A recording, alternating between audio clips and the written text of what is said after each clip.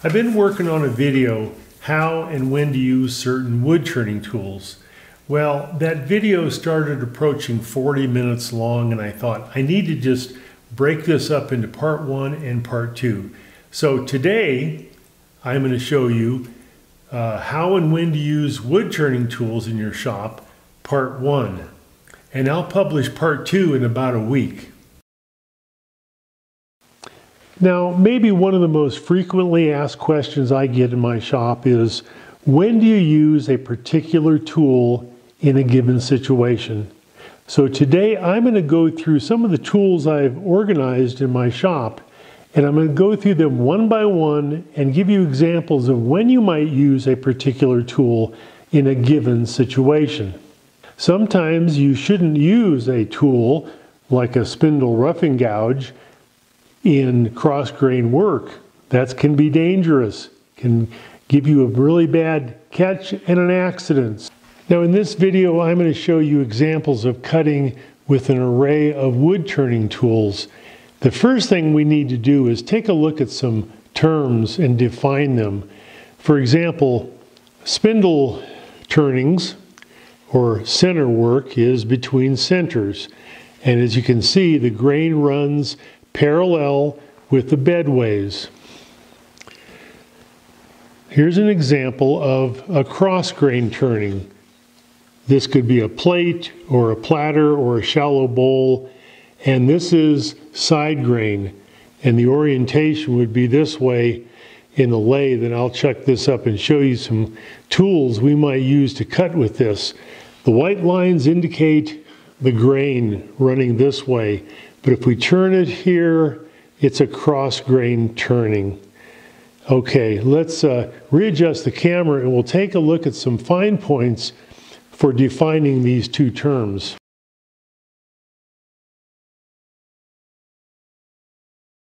All right, you are looking at a very out of balance rough turn bowl. So I'm going to work on the spigot or the tenon first. Now, a confusing bit of information, if you will, is I can use a bowl gouge to form this tenon, and I can also use a spindle gouge. Okay, nothing wrong with that. Nothing wrong with using a spindle gouge on a bowl in certain situations. But let me start with my bowl gouge. And this is a half inch bowl gouge with a swept back grind on it.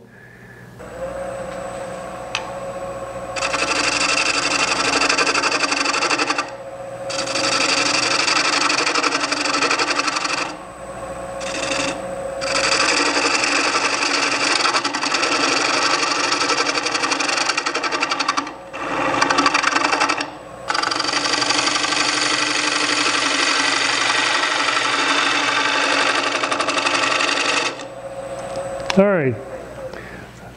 So that tenon is pretty good. I could just use that and put that into my chuck jaws. Let me get a spindle gouge and I'll show you the same thing. All right, now here's a spindle gouge, okay? And one important aspect of either one of these tools, I've got a 40 degree angle on the nose. Okay, it's uh, pretty sharp or steep, and I'm gonna go in there and form this tenon. And because of the nose angle, it's a little bit easier to form that tenon. And what I like to do is go in from this direction and then go in from this direction.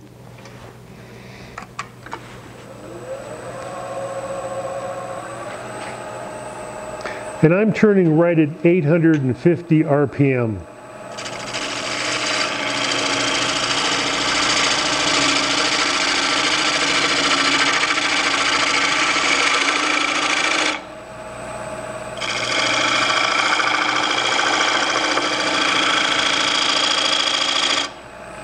So there you go. That's a good example of when you can use a bowl gouge and a spindle gouge on that tenon. Now while I'm in this position, I'm going to take uh, a second and just go over the outside of this bowl with another bowl gouge. I probably won't use a spindle gouge on this, but let's just see uh, what a bowl gouge is going to do to clean this surface up. It's really, really out of balance. Okay, now I've gone to a 5 8 inch bowl gouge. All right, and I'm going to clean up the outside of this bowl, round it over so I can reverse chuck this, so I can put this bowl in my chuck jaws.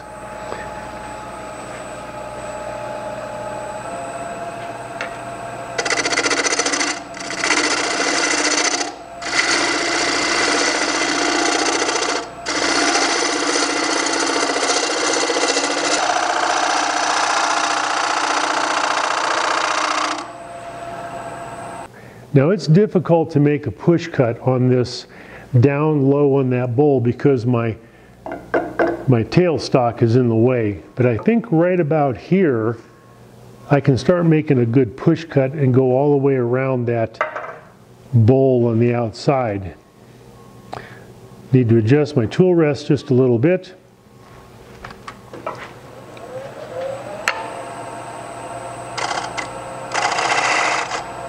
A little bit more speed.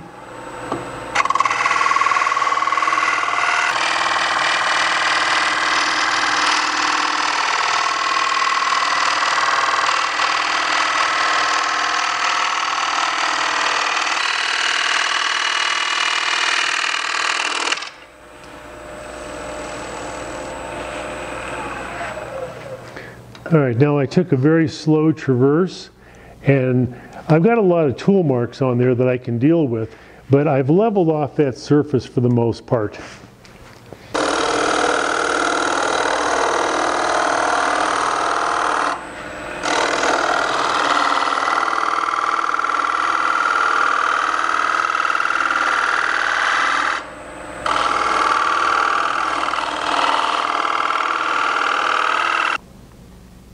All right, a little bit of a shear scrape down here and a push cut up here cleaned up that surface very well. Now, there's a bowl gouge, but here's a situation where you might use a spindle gouge on the outside of this bowl. I'm going to go back to my spindle gouge and I'm going to put some beads on the outside of this bowl as a decoration. And, and a bowl gouge may be a little bit too big of a tool. A spindle gouge may be more appropriate for doing something like this.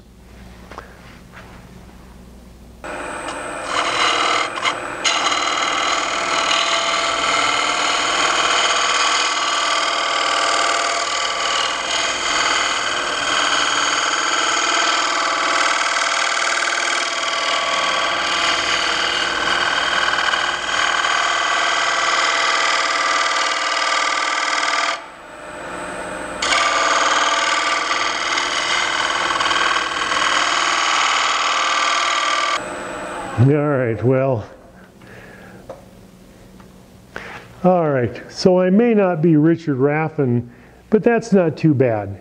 And you get the idea that I can make some beads on there, and I really like that grain, the way it uh, is undulating, if you will. All right, I'm going to spray a little bit of solvent on this to uh, bring out the grain show off my beads. Not too bad. And that's a great example of using a spindle gouge on cross grain work. Nothing wrong with that.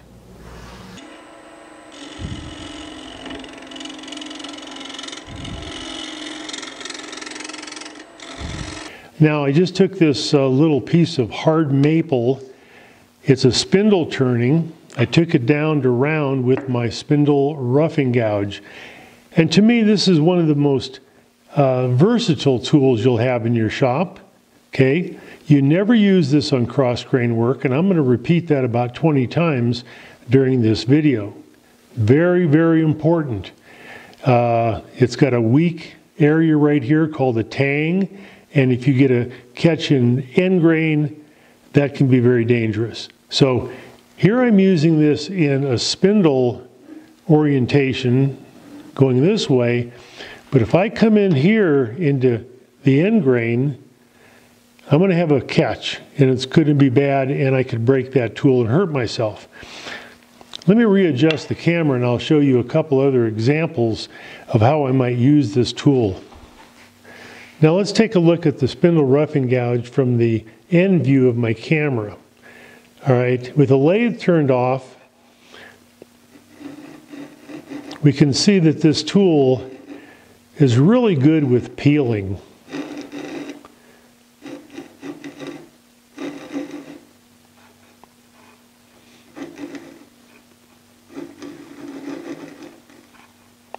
And if I hold this tool flat like this, this wing right here, as well as this wing, are relatively straight.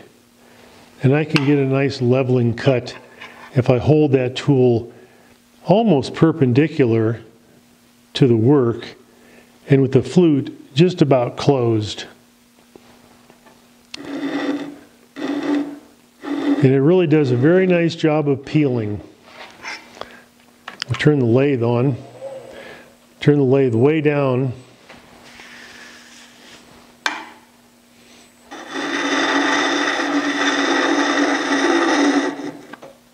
And there we go. Now, that's not a very good cut, okay? Because a lot of that cutting edge is hitting the wood, but it does a nice job of leveling that off. I call that a leveling cut. Now let me compare this tool to the skew chisel. Here are two tools, the skew chisel and a spindle roughing gouge that can really get you in trouble in wood turning.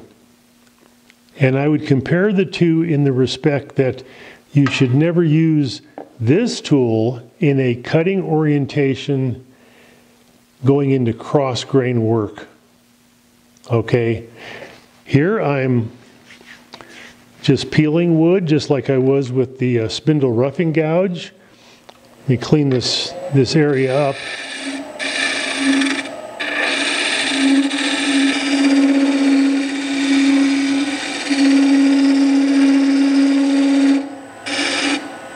Now throughout this video, I'm going to use a term, cutting orientation. And if I hold this tool with the handle low, like this, it's in a cutting orientation. Now, I got the lathe speed turned way down, and here I'm just rubbing the heel. I'm not cutting, all right? And if I raise the handle up, the bevel is still rubbing the wood, and that's a proper cut.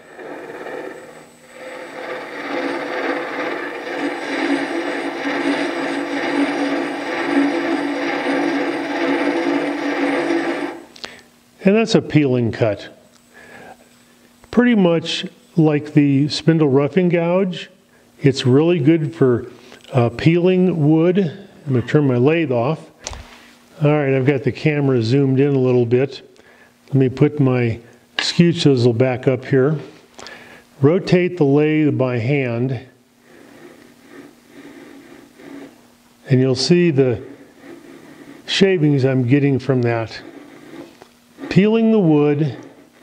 And again, this is not the greatest cut in the world. I'm not getting a very good surface because a lot of that cutting edge is contacting the wood. Now, if I hold this more in a,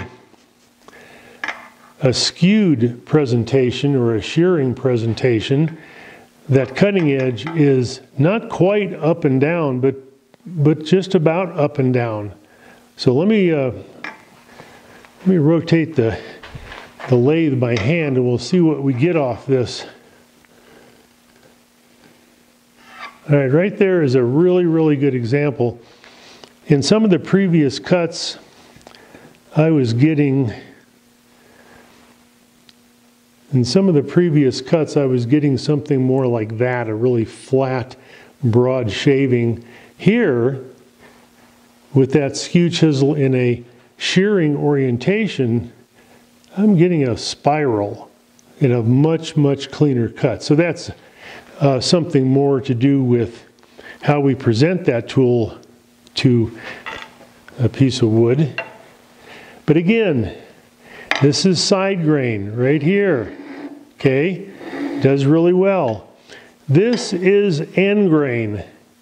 And if I hold that tool in a cutting orientation, in other words, the handle is down, I'm going to get a heck of a catch. If I want to form a tenon on the end of this,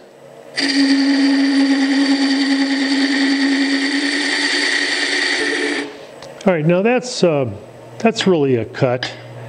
I have my tool rest adjusted perpendicular to the bedways, and I'm going to use a smaller skew chisel to give you an example of when you might use this in end grain. Now, please, please listen carefully. I'm not going to use this in a cutting orientation. I'm going to hold this level right here, all right, parallel with the ground or the floor, and I can fine tune my, my tenon this way. It's not cutting, it's scraping. And this is really important.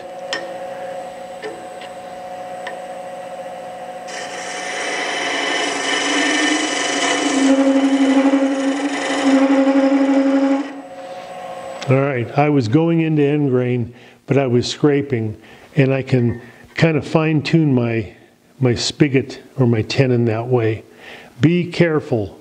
Okay, this is end grain, and I don't know if you can see it, this end grain is really, really torn. All right, that's a characteristic of end grain. Yeah, all right, let's move on. While I'm in this orientation, with the end view of this uh, spindle turning, I'm going to show you a couple other tools. And if you look at the cross section of this beading and parting tool, all right, it's really a little bit like a skew chisel. So here's my, my skew chisel.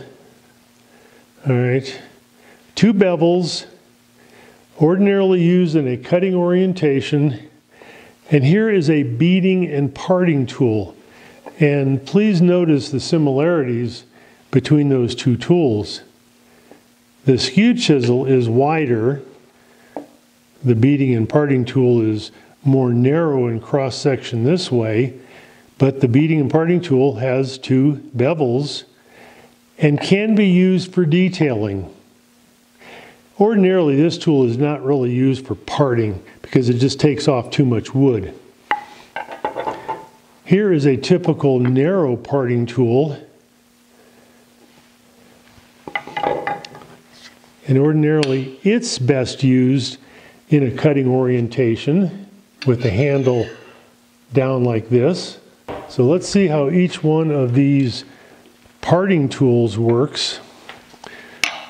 All right, now I can just continue where that uh, tenon is with my beading and parting tool. And this is a good tool for, for forming a tenon. Okay, cutting orientation, I'm rubbing the bevel, raise the handle till it starts cutting.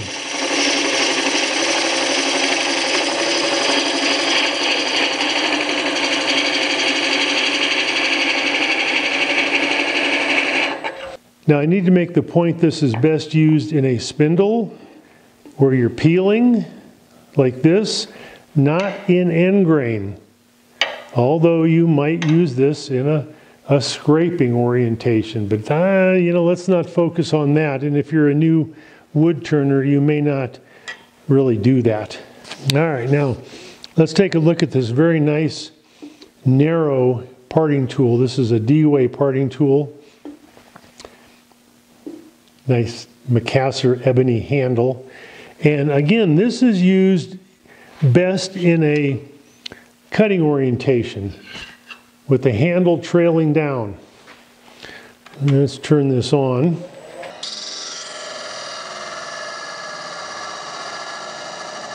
All right, I had to go to my grinder just a little bit.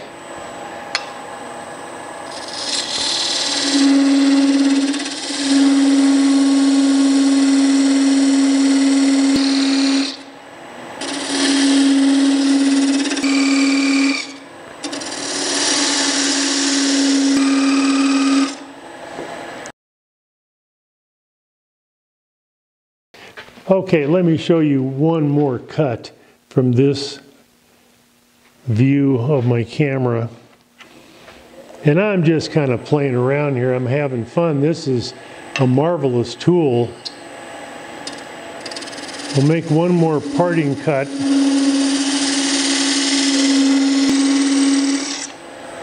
All right.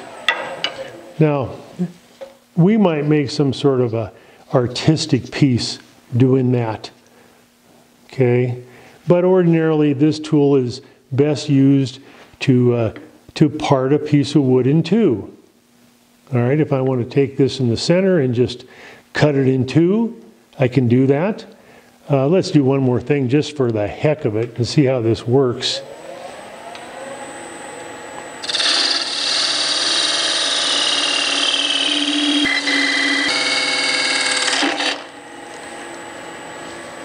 All right, so if you are in need of a little ring like that, that'll work. All right, let's move on to another tool. Now, as I make this video, I keep discovering certain exceptions. Well, you can use this tool in cross grain, but you can also use it in end grain. Well, I'm not going to include every little exception that I run across. I am going to put up in the description a PDF file a list of tools and when you might use them. But it's very general. It's a general list of guidelines. All right. Spindle gouge, spindle roughing gouge, skew chisel, parting tools, a narrow parting tool, beading and parting tool. Uh, I'm not going to get into specialty tools because this could be a, a 10 part video series on turning tools and when to use them as a general guide. And mostly, if you're an experienced wood turner, you know when to use certain tools and when not to use certain tools. If you're a beginner and you're not sure, ask somebody. I've got my phone number on this. I'd rather have you call me and ask a question about using a particular tool or doing a particular operation. I don't want you to get hurt, especially if you're a new wood turner. If you're an experienced wood turner, maybe you can help somebody who is just beginning. Anyway, let's move forward.